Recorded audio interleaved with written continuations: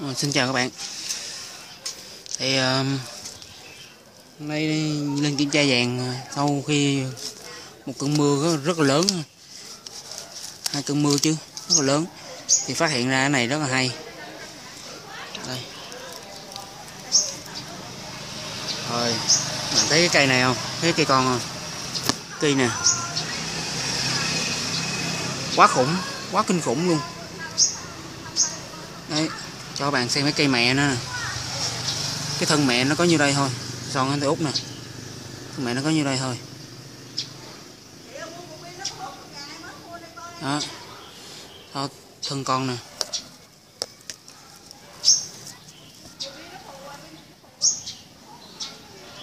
Quá dữ luôn. Gần bằng cái ngón út ấy. Đó.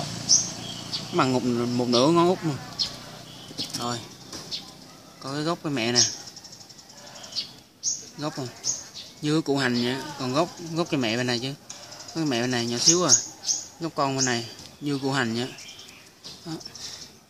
thì cái giò này là cái giò đầu tiên mình gắn cái ờ, cái ly á. Ban đầu nó chỉ có lá mục thôi, sau này mới đổ thêm ờ, thêm phân bò nữa. Thì như các bạn thấy ở đây à nước nó vẫn tiếp tục chảy ra gần như nó chảy liên tục liên tục. Do hôm trước là mưa lớn á. Nó, nước nó vẫn còn động ở trong cái ly nó chưa chảy ra hết thấy không? Ừ, nè.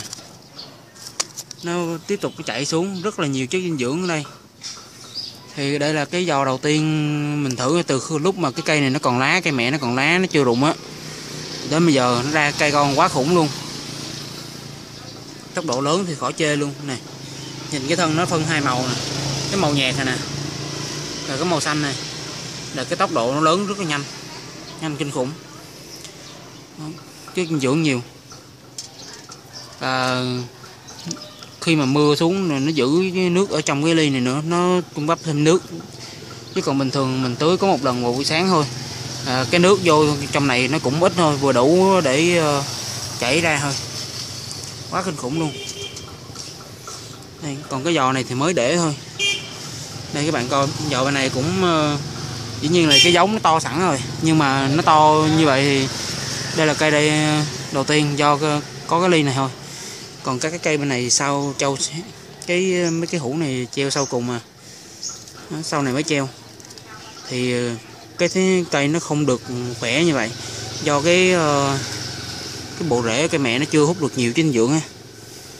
Đấy. đấy cái cây này bao nhiêu? Hơn gan tay. Nhưng thằng này á, thằng này nếu mà đo từ gốc lên nó cũng cả gan rồi. Nó mới lên được có vài lá thôi mà, cả gan rồi. Cái này cái này lên rất nhiều lá rồi mà được có một gan thôi. Hai thằng này là cùng một giống luôn. Đây.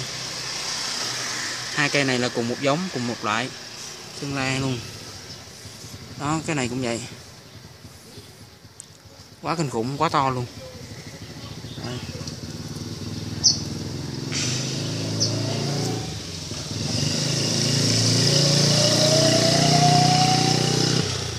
cái bịch uh, phân chầm tan này treo lâu lắm rồi treo ờ, đến đây là hai năm rồi à, cái loại đó có 100 uh, 180 ngày thôi à, làm biến tháo ra nên để đó luôn rồi.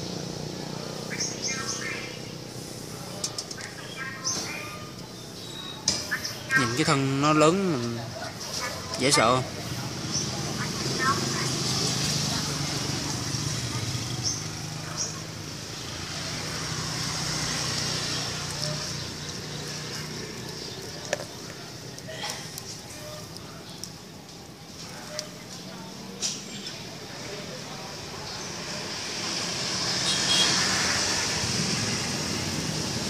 ở đây nó mọc thêm một mầm nữa trên cái giò này có ba thân tơ thì một thân nó ra đây ờ, đây nó đang lên nè.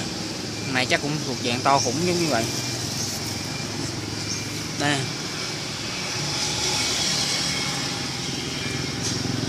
Đây các bạn coi cái nước nó chảy ra nè. Cái nước cốt nó, nước phân nó chảy ra. Nó có màu hồng nè thấy không? Nó màu nâu nè. Rất là nhiều chất dinh dưỡng cho nó.